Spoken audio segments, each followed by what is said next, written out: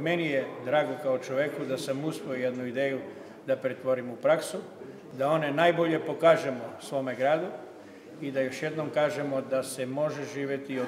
privrede i preduzetništva, ne samo vam privrednim delatnostima. Nadam se da ćemo u narednom periodu ovo još više omasoviti, da će još veći broj ljudi biti u konkurenciji za nagrade, ali da će ovo biti posticaj mladim ljudima da otvaraju svoje preduzetničke radnje i svoje privredne